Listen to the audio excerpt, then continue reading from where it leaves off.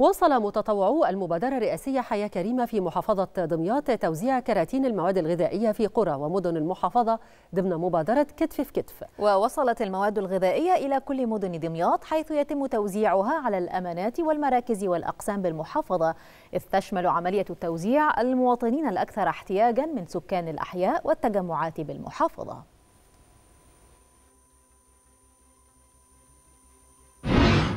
الممثلين مؤسسة حياة كريمة النهاردة مشرفينا في قرية طبل ب 50 كرتونة لبعض الحالات الأكثر احتياجا ومش أرامل بس بس ولا مرضى لا أرامل ومرضى وصناعية غير قادرين عشان أولادهم. والحمد لله قدرنا يعني الجميع نخبط عليه النهارده بإذن الله. واللي ما خبطناش عليه النهارده بكرة إن شاء الله معاه. نشكر السيد الرئيس والمبادره على المبادرة الجميلة ديت.